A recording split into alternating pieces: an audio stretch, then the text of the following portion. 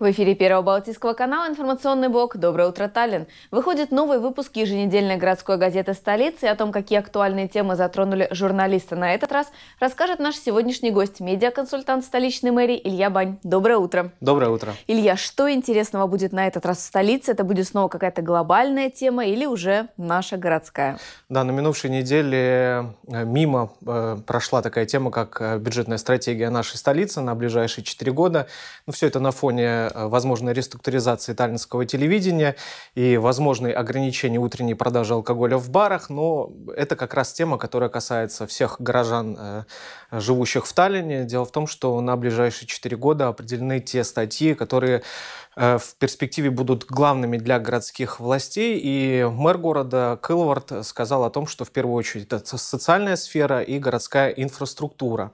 То есть городские власти этой самой стратегии э, не просто на словах, а закрепляют это в документе, говорят о том, на что будут тратиться дополнительные доходы. Дело в том, что Таллин растет э, и в смысле населения, и в смысле доходов, и каждый год городские власти вынуждены принимать дополнительный бюджет, то есть на, на что будут тратиться те самые дополнительные деньги. И вот, э, в частности, инфраструктура городская подразумевает не только ремонт, но и строительство новых дорог, э, в частности, озеленение также э, нашего города. Очень важно, чтобы в Таллине появилось больше освещения современного, также строительство специальных площадок для выгула собак.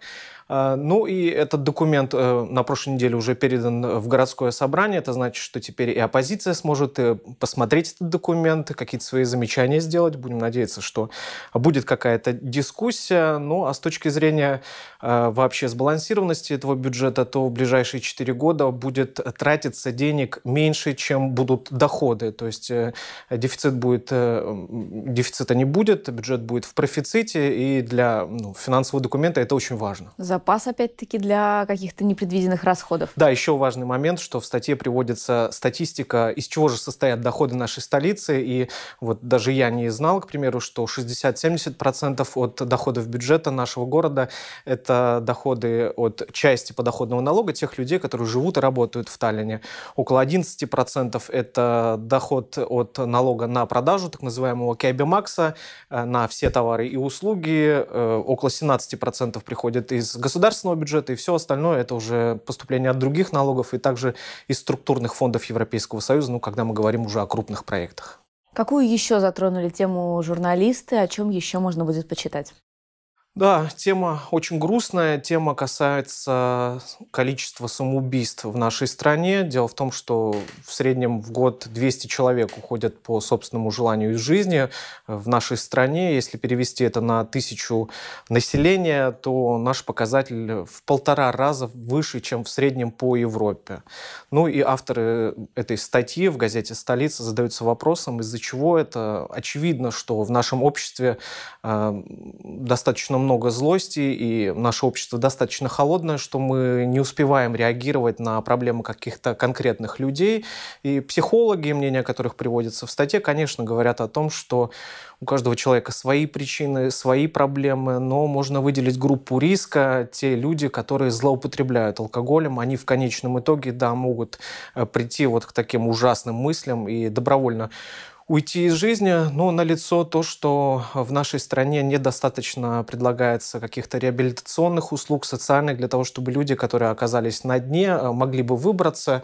Ну и достаточно конкретные такие советы приводит э, психолог э, о том, что нужно обращать внимание на то, что происходит с вашими соседями, с вашими друзьями, родственниками. Если Не человек... быть равнодушным. Именно, именно вот такая фраза и приводится в статье. Дело в том, что нужно смотреть, если вдруг кто-то стал злоупотреблять из ваших, ваших знакомых э, алкоголем. Или, не дай бог, э, все чаще стал говорить о самоубийстве или просто о недовольстве таким патологическим да, своей жизнью. Э, если он вдруг стал давать, вы точно знаете, что это ценные вещи, которые для него очень важны, он вдруг их стал там раздавать или дарить, или вдруг неоправданно рисковать, там, играть в лотерею, еще что-то. А, обратите внимание, не оставайтесь равнодушным. Именно это поможет спасти хотя бы одну жизнь. Но самое главное, Илья, что несмотря на то, какие в газете приводятся хорошие или плохие новости, обо всем об этом можно почитать у себя дома.